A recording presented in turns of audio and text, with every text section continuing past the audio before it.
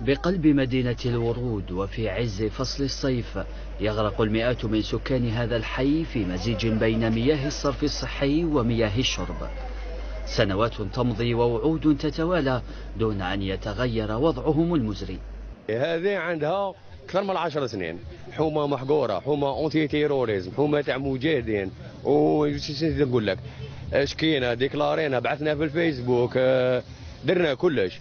درنا كاع لي بوسيبيليتي وما كاين والو صحيح. وصلت لدرجة قريب غلقنا الطريق جابوا لنا الدولة لهنايا وكذايا وهضروا معنا وكذا ورقلاوه زيد التالية كاينة حاجة واحدة أخرى نقول لك عليها.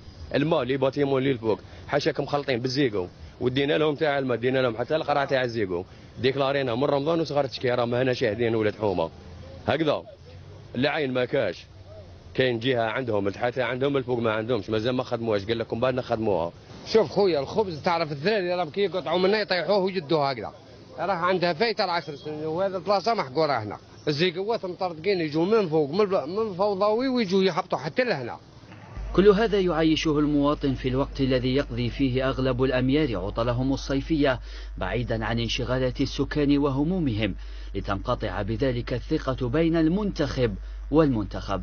على عندنا مير إحنا باش نبيرهم congé. عندنا مسؤولين. تتأمن باللي عندنا مسؤولين. تأمن باللي عندنا مسؤولين. ما عندناش مسؤولين يكذب عليك. اللي يقول لك عندنا مير ولا عندنا والي يكذب.